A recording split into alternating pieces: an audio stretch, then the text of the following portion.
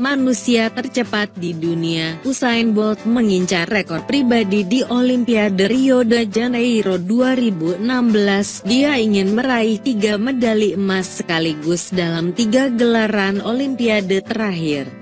Bolt merupakan peraih medali emas di ajang balap lari 100 meter, 200 meter, dan 4 kali 100 meter pada Olimpiade 2008 dan Olimpiade 2012. Dia ingin mengulangi prestasinya itu di Rio de Janeiro.